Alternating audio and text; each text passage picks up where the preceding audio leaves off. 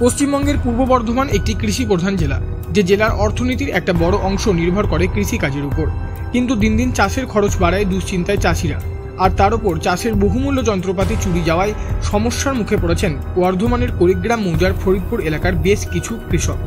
অজ্ঞাত পরিচয় দুষ্কৃতীরা কলিগ্রামের এই এলাকায় বহু পাম্পের ঘর ভেঙে সাবমার্সিবেলের যন্ত্রপাতি লুট করে নিয়ে গেছে।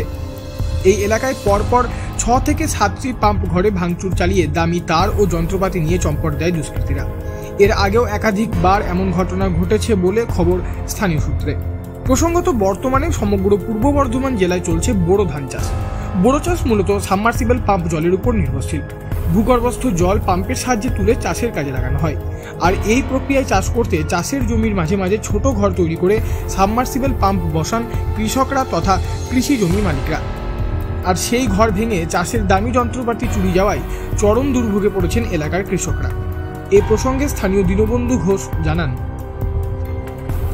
আমার সাবমার্সেলে গত রাতে কেবল তারগুলো সব চুরি করে নিয়ে চলে গেছে। স্প্রে মেশিনের সিলিন্ডারটা চুরি করে নিয়ে গেছে। চাবি ভেঙেছে। চাবি ভেঙে সব নিয়ে পালিয়েছে। আমরা চাই যে আমাদের এরকম যেন আমরা তো গরিব কৃষক, আমরা তো চাষ করে খাই।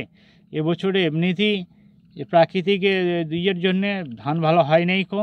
ধানের গাছ হচ্ছে না, পোকায় নষ্ট হয়ে গেছে। তারপর যদি বারবার এই কেবেলগুলো কেটে নিয়ে পালায়, তাহলে আমাদের পক্ষে চাষ করা একটা দুরূহ ব্যাপার হবে। এবং আমরা প্রশাসনকে বা সবাইকে জানতে জানি, সহযোগিতা চাই যে না, আমরা চাষ করছি, আমাদেরকে সবাই একটু সহযোগিতা করুন। আর চুরি ছিনতাই যাতে না হয়, তার জন্য প্রশাসন দেখুক, এটাই আমরা চাই।